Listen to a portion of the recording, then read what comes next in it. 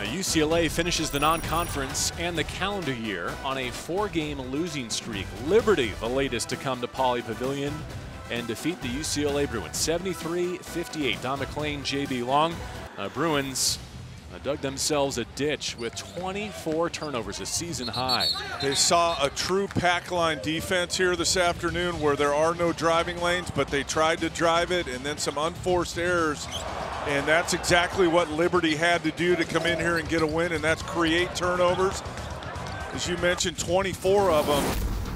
That helped that helped Liberty get the confidence. And then Caleb Homesley, right from the jump, looked confident and continued it throughout the game. But the entire Liberty team, JB, was confident the entire game, but he led them with his production.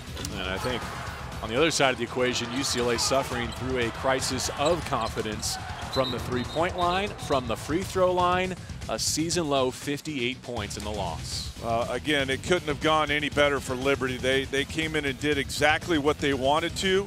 UCLA had no answer. That's why Liberty gets out of here with a 15-point win. Bruins hoping for better things in the new year. They open the league schedule next week at home against the Bay Area schools. Stanford first, then Cal.